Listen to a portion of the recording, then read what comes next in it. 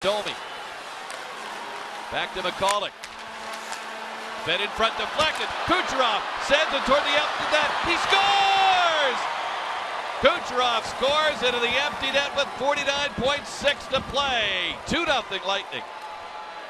Oh, and you can see the visible sigh of relief from the Lightning, who were under pressure with the goaltender pulled by the Coyotes. To get it to Nikita Kucherov, and his sure hands get it out of the zone. Positioning is what it's all about. Go with the pass. Great stick by Stamkos again.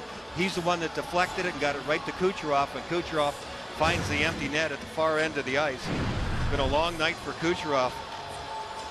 A lot of things have not gone right for him. That one did. 27th goal of the year.